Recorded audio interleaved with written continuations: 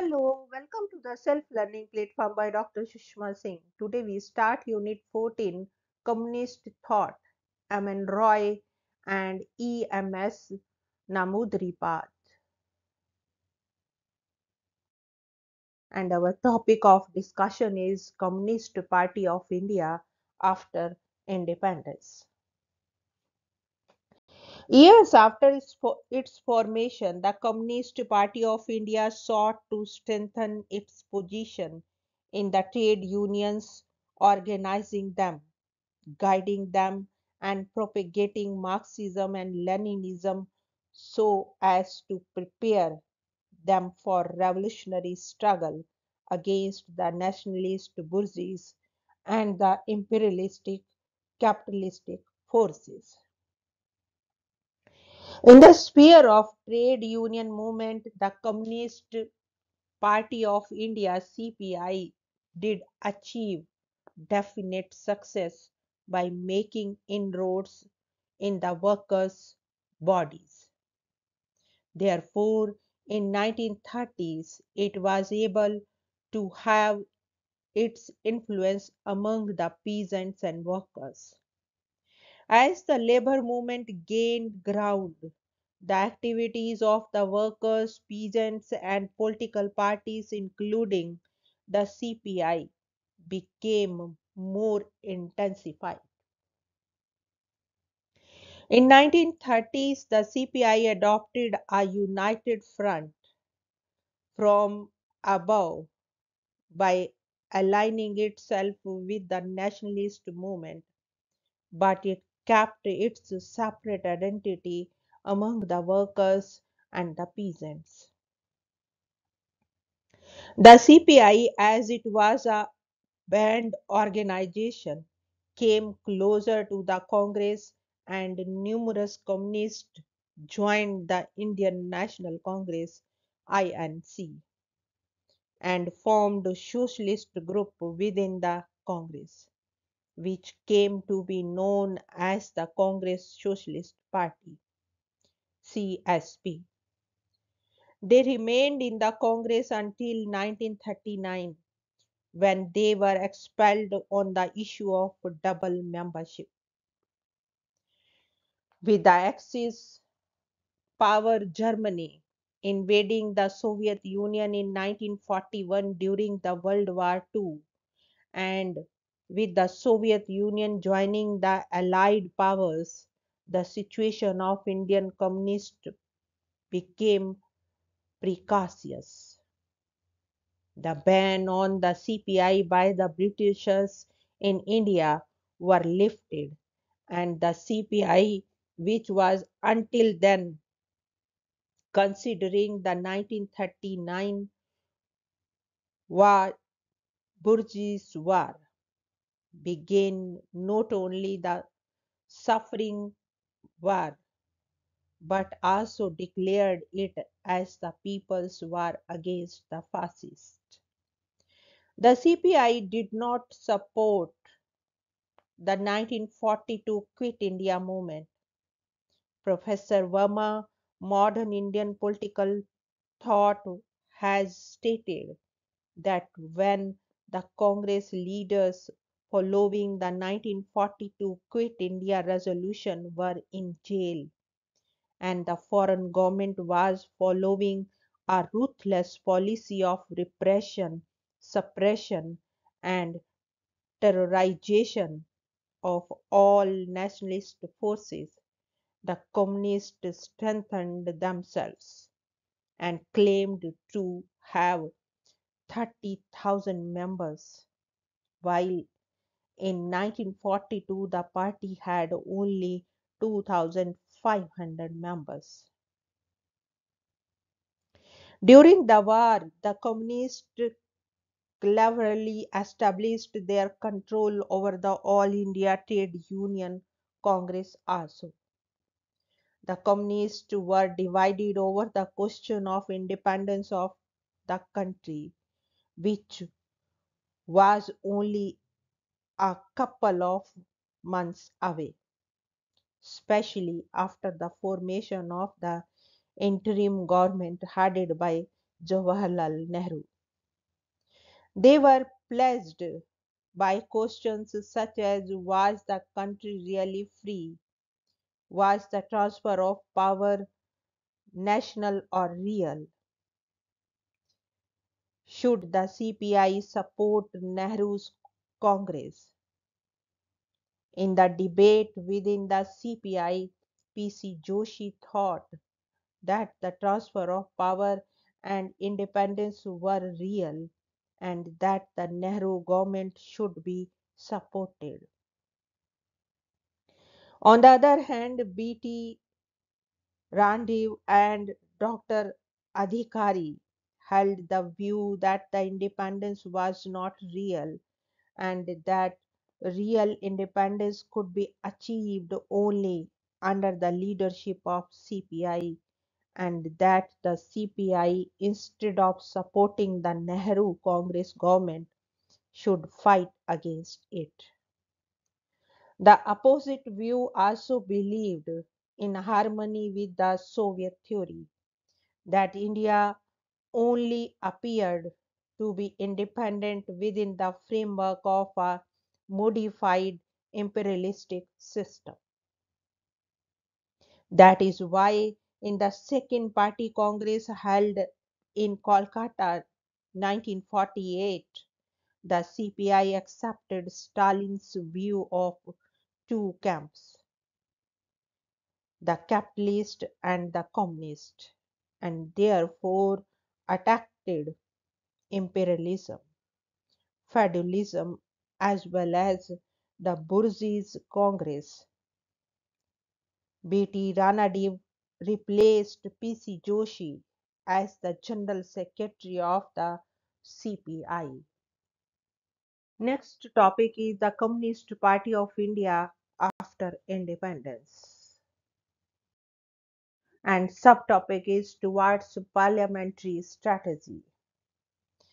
With relatively a more militant left, the CPI immediately after independence adopted a united front tactic from below, aligning itself with the workers and peasants against the Indian National Congress.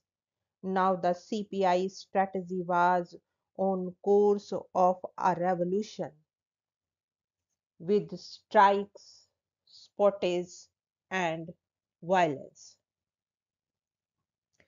For Ranadive, following the Soviet line, the working class was an instrument of revolution. He discounted the peasant uprising in the Telangana region, much to the annoyance of the Andhra Pradesh communists, even at the cost of losing office of the General Secretary of the CPI. Rajeshwar Rao became the General Secretary of CPI in 1950. With the shift of the Nehru government towards the former Soviet Union, the CPI was officially advised to abandon adventurous tactics and to adopt the policy of contesting parliamentary elections. Moderates like P.C. Joshi, S.A. Dange, and Ajoy Ghosh welcomed the policy shift and Politburo of the General Committee drew up a draft calling for a creation of a broad anti-feudal anti-imperialistic front embracing the national bourgeoisie. The path of the parliamentary strategy was clear. Ajoy Ghosh became the General Secretary of the CPI in 1951. The CPI moved from 1950 onwards to a process of gradual change from a class conflict approach to class alliance, from revolutionary strategy to parliamentary strategy.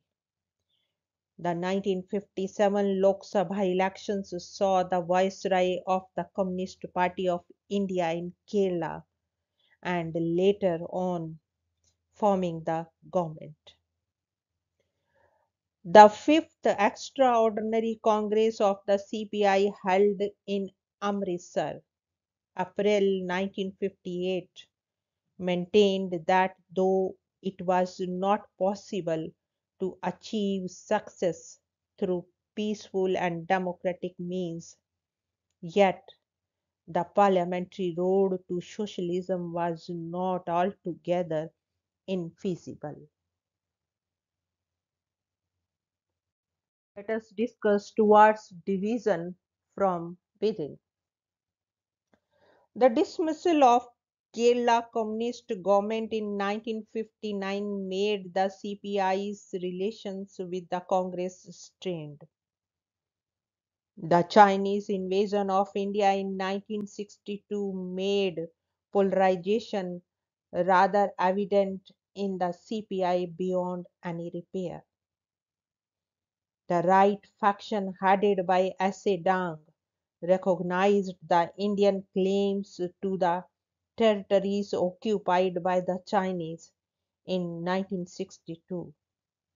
The left faction of the CPI regarded the right's plea as the betrayal of the international proletariat unity.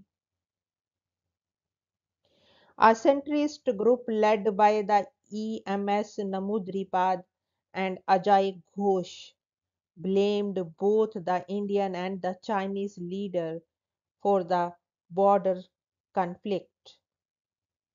In 1962, the balance Ajay Ghosh died. Dange became the chairman of the CPI and E.M.S. Namboodiripad the general secretary. It was, however, a short lived unity. As the split of the international communist movement became clear with the Soviet Union and the People's Republic of China taking opposite strands, the division of CPI could no longer be delayed. The CPI became closer to the former USSR and CPI Marxist to the peoples of republic. The Soviet Union recognized the CPI as India's legitimate communist party. The CPI attributed the split of the Chinese mechanization. The CPI-M, though neutral on the ideology issue, came to be dubbed as hostile to the Soviet position. But even the Chinese distanced themselves from the CPI-M. The two communist parties remained divided on certain issues. The CPI, by adopting the National Democratic Front strategy, thought of aligning itself with the Indian National Congress, which the CPI regarded as the vehicle of bourgeois nationalism. The CPI-M, by adopting the People's Democratic Government strategy, thought of remaining away from the Congress, which it regarded as an anathema. In the coming years, the CPI came to be associated with the Congress and its uh, laurels and failures came to be counted with those of the Congress. The Congress began losing ground, votes, and legislative seats after 1977, excepting being the brief spell in 1980. So did the CPI. In the meantime, the CPIM became popular both with the urban and rural poor and was successful in forming government in Kerala and West Bengal.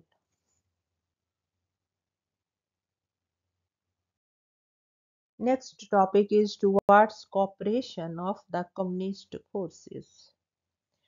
Ideologically, the two communist parties remained apart, the CPI aligning with nationalist bourgeois forces, while the CPIM working its own strategies of people's democratic government.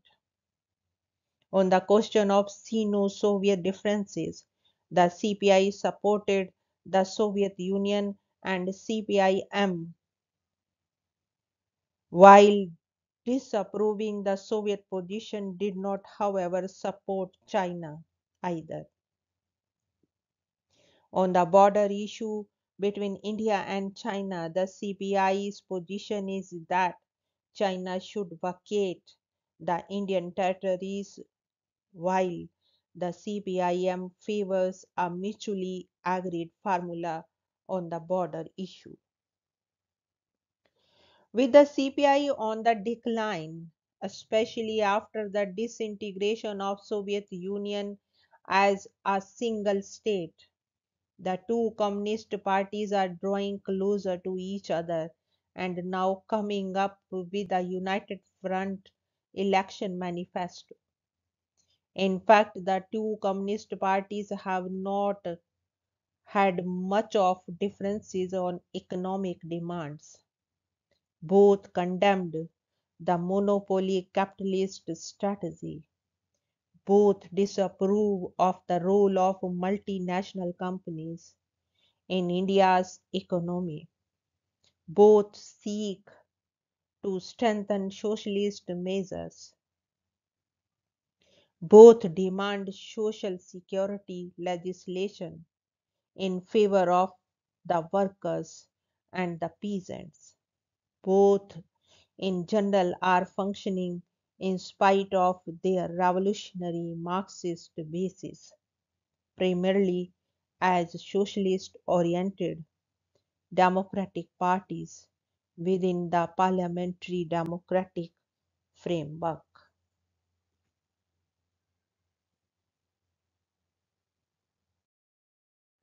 Now we want to wind up this lecture. Thank you so much for your attention.